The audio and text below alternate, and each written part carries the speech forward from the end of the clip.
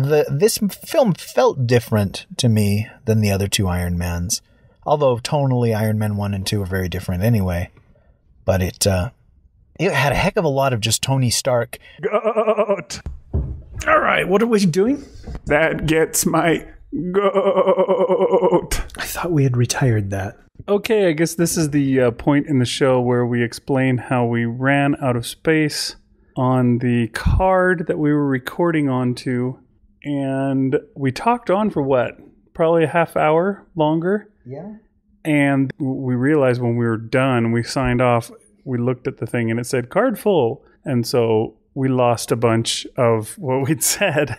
And uh, we're hoping to replicate that, uh, but it is now two days later, and uh, we are recording in a different environment. I don't know if you can tell, but uh, it's fairly similar. We're using the same kind of device, but one with a larger card on it.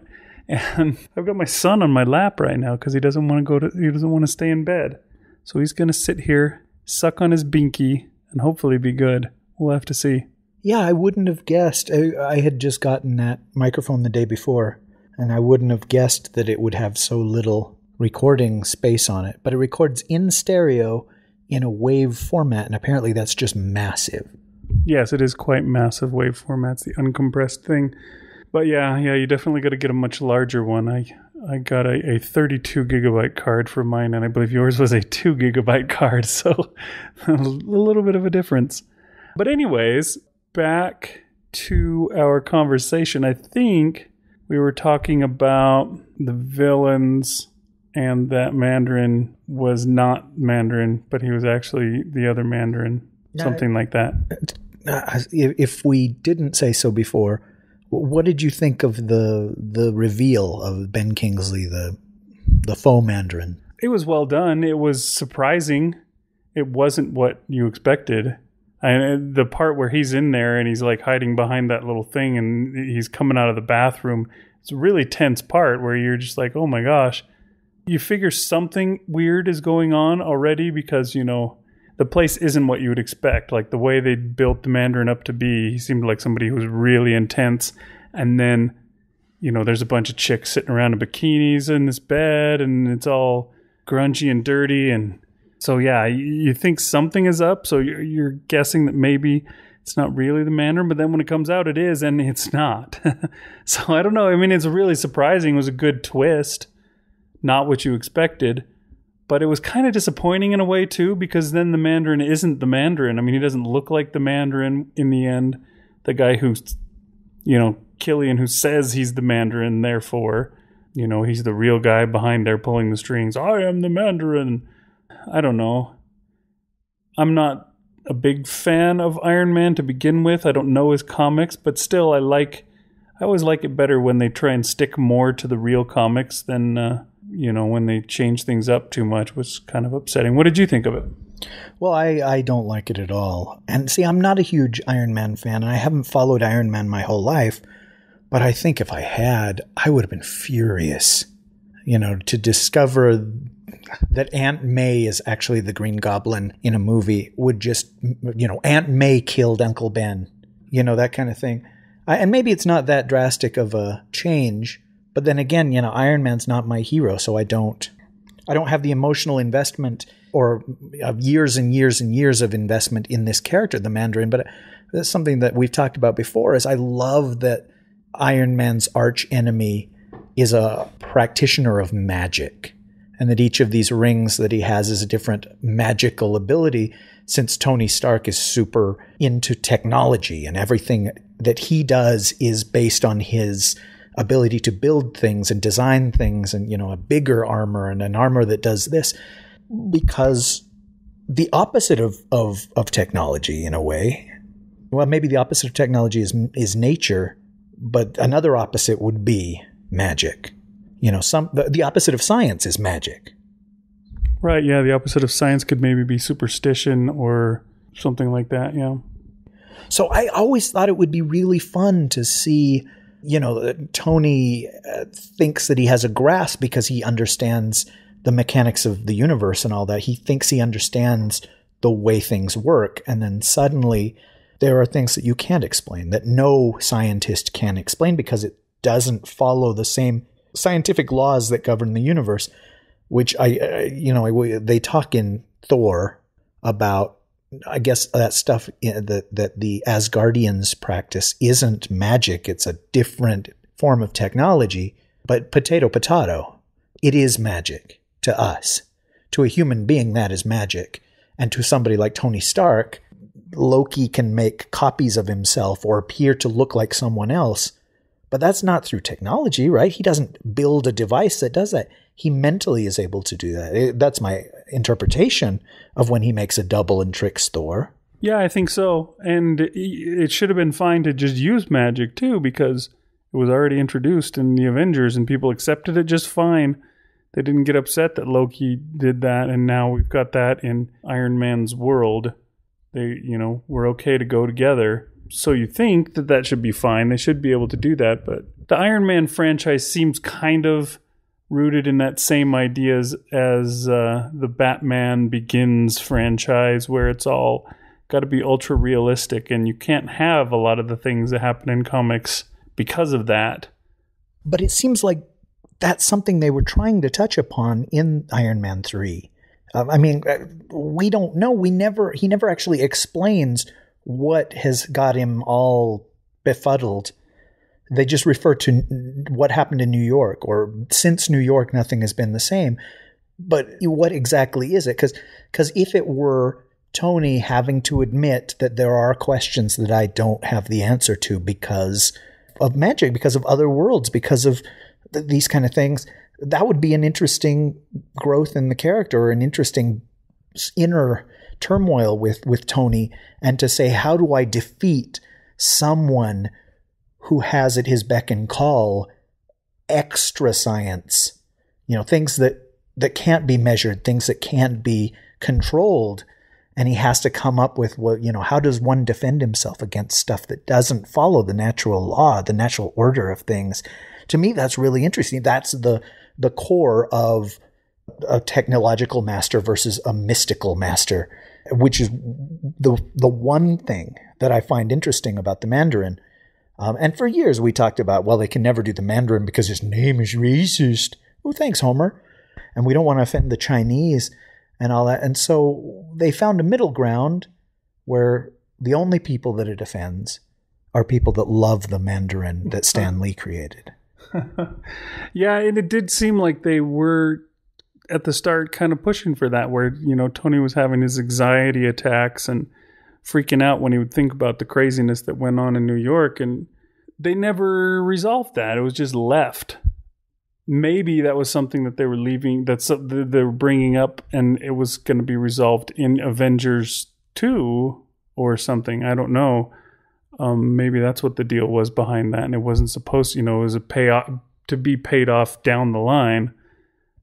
But yeah, it would have been cool. I mean, it would have made sense if they'd gone there, but they didn't. They went totally different direction. Well, see, I feel like the ending of the movie, the last, the resolution was the weakest aspect because suddenly everything is resolved.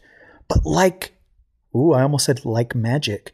But I mean, suddenly Pepper's her change, her fundamental change. I mean, basically, she's been transformed into a new a new species, like like Jean Grey is the Phoenix or whatever. You are no longer Pepper Potts. You're now something else. And they just snap their fingers, and that's fixed. And suddenly, Tony's able to remove the uh, the metal shards and no longer have to depend on that arc reactor in his chest. And we're like, well, if it was that simple that surgery would remove it, why didn't you do that when you came back from Afghanistan?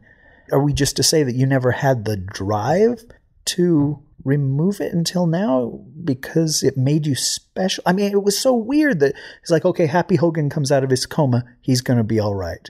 And you know what? I liked all the Happy Hogan stuff, every single scene he was in. But the resolution of all the other stuff, it was too resolved. It was like, hey, folks, I'm sorry, we're not going to have any more Iron Man movies. This is it.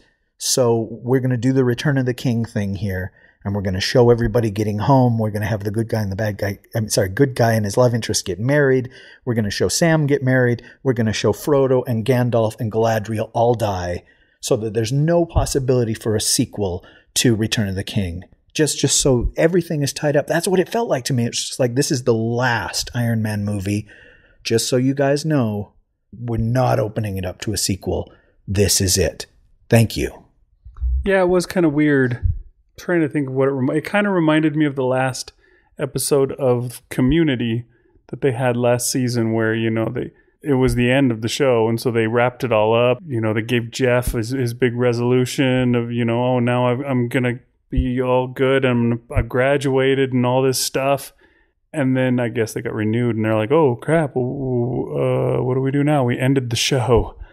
But it also kind of reminded me too. I don't know if you ever saw the final episode that they did of Pushing Daisies, that show that we uh, used to watch back in the day, but got uh, unceremoniously canceled. And they had, I guess, an episode. I think pretty much what you could tell happened was they had an episode that was the last episode, but it wasn't supposed to be the last episode. And then they just kind of added in a bunch of things kind of like a quick epilogue. Oh, yes, and this happened, and they lived happily ever after, and here's how it happened, and it all happened off screen because we didn't shoot it, but now they're all happy. The end. And yeah, it was kind of like that, you know, where he's just like, oh, yeah, and I did fix Pepper, and I also fixed this, and it just wasn't satisfying, that's for sure. He shows up at his house, or I'm sorry, the ruins of his house in Malibu, and I got the impression, and tell me if you got it too, that he's not going to rebuild this house. He's like, I'm going to leave it in the sea and I'm not Iron Man anymore. Although he says, I am Iron Man as the final line of the movie, but just as a bookend, because that's how he ended the first movie. Just to say, hey, we've come full circle. Goodbye. And, you know, I mean, we talked about it, and I don't know if we talked about it in the pre loss part of this conversation or if we didn't talk about it, but Robert Downey Jr. got hurt at some point in the making of this movie. And I read an interview with him in GQ where he was talking about being nearly 50 years old and that he's not a young guy anymore and, and he could have been really badly hurt. And luckily, you know, he was only out of commission for a couple of days. But you know, it told him that uh, it's time to put some of this stuff behind him and move on to the next phase of his life. And I mean, it, what it sounded like was, you know, I'm done being the action star, but he was never an action star until this movie. Well, well, maybe he takes off his shirt and beats the crap out of Russians in the Sherlock Holmes flicks, but you know what I mean? They never asked him to run around and dive and fight and kickbox and throw yourself off buildings until this movie. And, and to me, it felt really strange that he was doing all this fighting, actual hand to hand fighting, because that's not who Tony is. I mean, we saw him in the in the cave and all that where he really need would have needed these abilities and he didn't have any of that stuff. You know, his weapon is his mind and his ability to build things. And so when it became like Miami Vice and stuff with him and, and Rhodey sneaking around with pistols, it felt like a totally different thing to me. Yeah, it did feel pretty wrong. I mean, I'm willing to bet that the part where he got hurt is the part where he only has like the one glove and the one boot and he's like flying around the room with just this stuff on because he had to have been like up on wires and stuff like that and being yanked around and etc. And I wouldn't be surprised if that where he managed to fall on his head or something. I don't know what, but uh, when when his house was coming down and you know he's diving and trying to save Pepper and stuff like that, that looks like a place where you could actually get hurt. And and you know, I did really like that moment when he had the armor go on Pepper to protect her, despite the fact that there's some other woman there in the house, but it's kind of like, yeah, but I don't really care if she gets hurt. That was kind of neat that he thought of her first. Yeah, above and beyond himself and, and anybody else. And that, that was an interesting part. It, it is interesting. And you can tell that it's a different director with a different idea and behind the script. You got that different sensibility. You were saying this guy was the director of what the Lethal Weapon. He wrote Lethal Weapon and wrote the first draft of Lethal Weapon 2, wrote The Last Boy Scout. He did a, a, a movie that I thought we watched together called Kiss Kiss Bang Bang, which was the first movie Robert Downey Jr. did when he got out of jail. You know, nobody would hire him, but Shane Black said, I'm about to make a movie and, and I'll hire you. And it was you know, the first, and that maybe based on that, he got Tony Stark for uh, the first Iron Man. But yeah, Shane Black's only ever directed that one movie and this. He's always been a screenwriter before that. Did he write uh, Iron Man 3 as well? He got a co writing credit, and I don't know what the other guy wrote. Maybe the other guy was writing Iron Man 3 for Jon Favreau or something like that. And when Shane Black came on board, he says, I've got my own ideas. And they have, I mean, you never know how much work somebody actually did for the credit that they did, but it's got the two writers there. So maybe Shane Black wrote the story for Iron Man 3 and, and part of the screenplay, but once he made the shift to direction, he focused on directing, and this other guy focused on rewrites and, and okay, we got to fix this, and we got to write a scene for this so that Shane Black could focus on directing.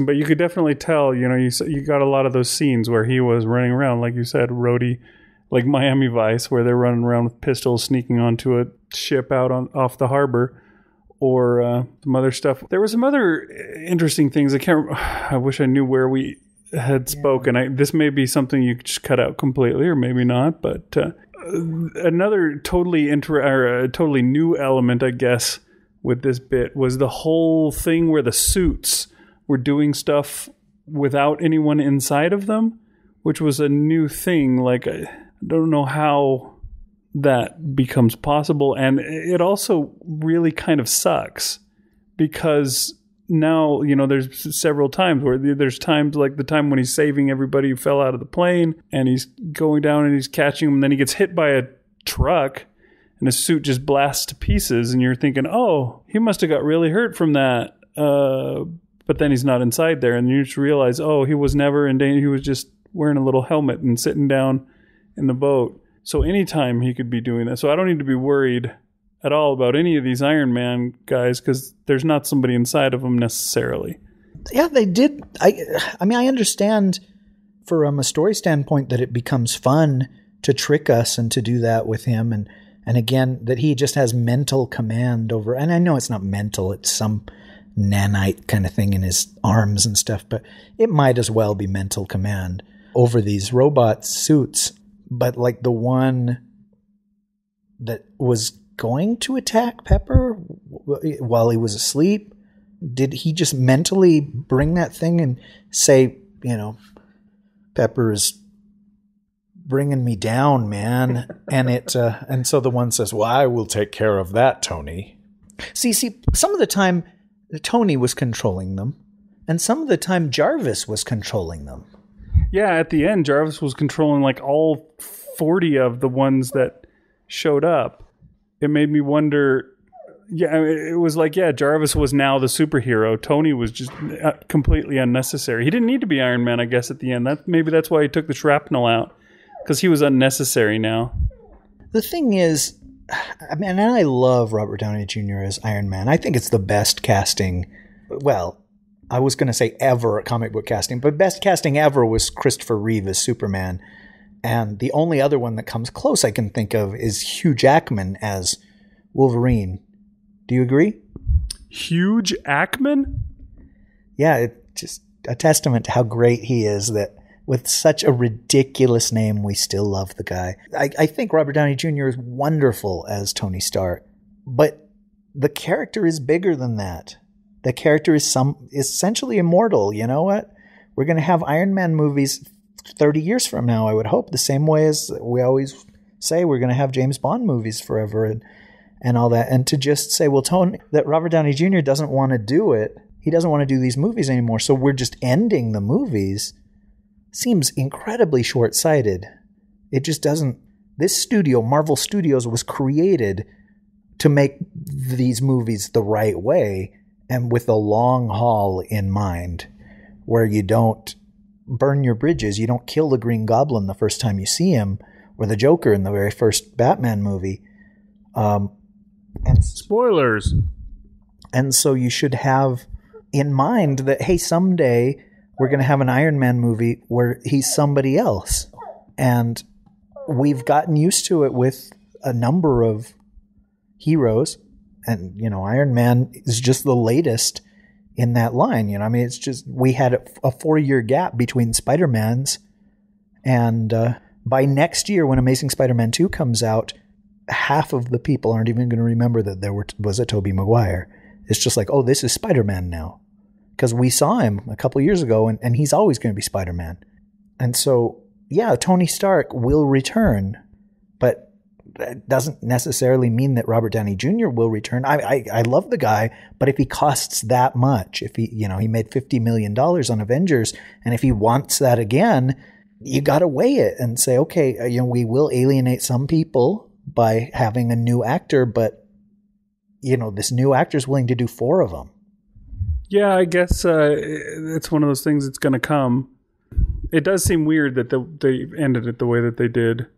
And yeah, I mean, like you were saying, you, you, you quoted the, the bit. You get the little bit at the very end of the credits where it just says, Tony Stark will return. It's it's really strange that they ended it off that way. I suppose that means that we're going to get some kind of a reboot of Iron Man when the next guy comes on, which I'm tired of quick reboots after, you know, trilogies because it's I don't know. It's funny because you know that these this movie was not, or these movies were not meant to be a trilogy. It's not like we've finally told the whole story. You know, it's like the freaking Hangover Part Three coming out this summer. Oh, it's the final story of the Hangover trilogy. Dude, there was no Hangover trilogy. It was one movie they remade a couple of times now, and they're calling it a trilogy. And why is it that three seems to be where everybody thinks they have to quit? Is it just because Star Wars did three and it was such a big deal that now everybody always does three?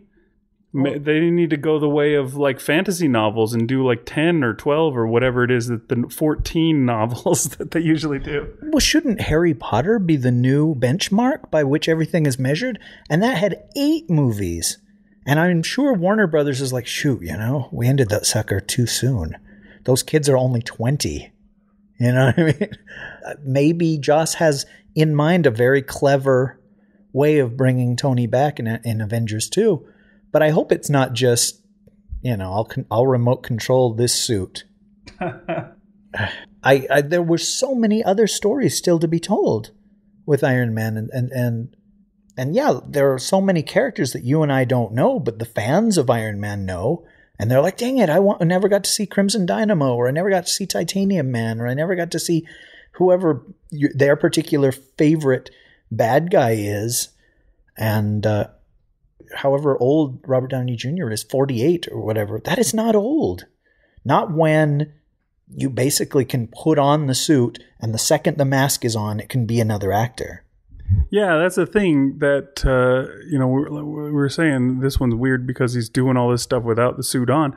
You don't need to do that. I mean, you can go on. He could be making these movies for ten years at least without ever being put in the slightest amount of danger of getting another injury if they just write the script the right way. I mean, Iron Man is not supposed to be Nick Fury. He's not supposed to be James Bond. He's just supposed he's not supposed to be freaking Indiana Jones who, you know, barrels into the trouble uh, even though he's a 70-year-old dude. he's supposed to be the guy that gets into the suit and then fights and so they could easily do that if they, you know, I mean, that's the way the character's supposed to be, anyways. So they just continue on with it. And I mean, who knows what what'll happen down the line? But uh, you said that uh, Robert Downey Jr. Uh, was signed on to do two more Avengers movies, right? I thought so, but now people are saying that his contract is up with Iron Man three. Yeah, I don't know. I I, I know that. Uh, well, I, I, if I hadn't said so already, when I saw Robert Downey Jr. in July at Comic Con, he seemed gung ho about this series, doing them forever.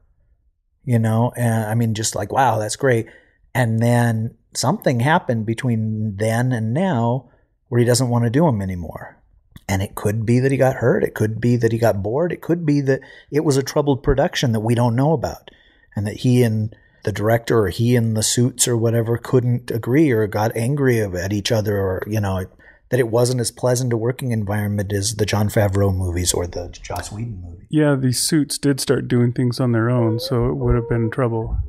That's right. I, but I, I think when it's a franchise kind of movie, you want to end each one leaving the audience wanting more. You know, the Star Trek reboot is, you know, I, I don't love the Star Trek reboot, but certainly at the very end, when Kirk gets in that seat and they, you know, he says, let's go, you want to see what the next adventure is. And, you know, same stuff with like the very first Iron Man when he, he, he ends it with "I am Iron Man" and everybody goes, Ooh, and then it just ends. You're just like, wait, wait, what did what what was the reaction? What happened after that kind of thing? You know, I, that the, the probably the absolute best ending of of any of those was the end of Batman Begins, where you show the Joker card and people, you know, go ooh, and then the credits roll because you want these things to go for a long, long time. I I mean, maybe Marvel isn't a, a money grubbing capitalist company, but Disney certainly is. And for Disney to just say, yeah, okay, you can end it is so strange. Well, the Dark Knight Rises, they so clearly set that up as this is the final installment in the Dark Knight trilogy. And, you know, this is the end. This is the end. But they didn't have to end that. I think it was just Nolan wanted to end that. And uh, Christian Bale is younger than us. He could have gone on and, and been Batman another 15 years. But maybe they were thinking that the quality could only be maintained for so long. And if you do it as a third movie, I don't know. At one point, George Lucas, uh, you know, was going to do 9, 10, 15 Star Wars movies and just hand it off. And we'd still be making Star Wars movies today. And, and then he changed his mind and said, we're just going to end it out after three. But I don't know who made this decision, but it feels like it was Robert Downey Jr. and everybody was was okay with it. Um, although, I mean, how much control does he have over the finished product? Somebody had to write it. Somebody had to decide this is how we're going to end it because they could have just ended it with we killed the bad guy. Pepper, you're going to be all right. You know, I'm going to fix this and then end the movie. And we're like, boy, I hope they do. I, let's find out in the next movie. Yeah, it seems like Avi Arad should have been in there to step in and say something about that whole ending. I don't know if they snuck that past him somehow or what, but I thought that was supposed to be his deal. I don't think Arad has anything to do with those anymore. He he was the action figure guy, and uh, he was the only suit that knew all the characters and loved all the characters. And I think Kevin Feige is the Avi Arad of the 21st century. So he's the guy that should have stood up and said, "Yeah, let's end it three minutes earlier than you've ended it now." Maybe we got uh, the special extended cut in our showing, and everybody else didn't even see this. And they're like, "What the hell are you talking about? They ended it three minutes earlier than that." the weird thing is, if they when they make an Avengers two, and Iron Man is in Avengers two, if they have a different actor as Iron Man people will be kind of weirded out by that, I would think. It seems like if they were going to have a different actor that was going to be Iron Man in the Avengers, they needed to switch it already. You know what I mean? It should have been somebody else in this movie.